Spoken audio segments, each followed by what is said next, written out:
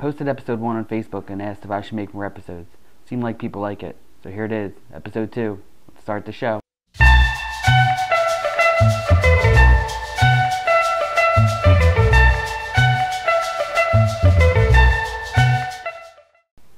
I like Facebook, but I would like it a whole lot more if there was a dislike button.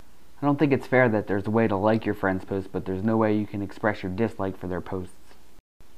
Sure, you could leave a comment, but typing it out seems like it's a lot of work, doesn't it?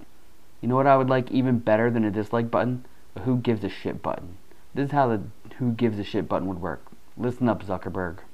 If 10 people click your who gives a shit button, the post disappears.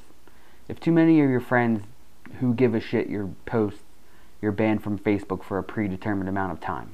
You won't even be allowed to look at other people's posts. No posting, no looking, nothing.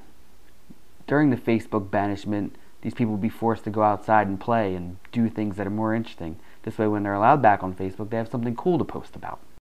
The Who Gives a Shit button would, of course, be anonymous because we won't want any drama being caused by Facebook. I want to talk a little bit about television.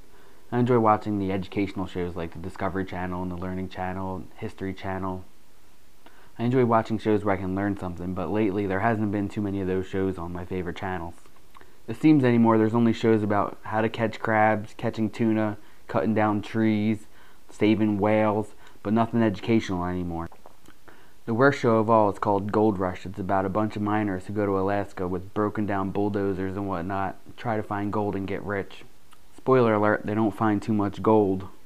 As a matter of fact, I looked around the house and went gold mining and I found more gold in this bottle of Goldschlager than they find in an entire episode of Gold Rush. There's more gold in Lil Wayne's teeth than there is in the entire season of Gold Rush.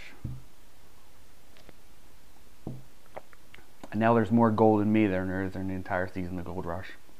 Oh, you have to excuse me, I'm going to go do a little more gold mining. See you next time.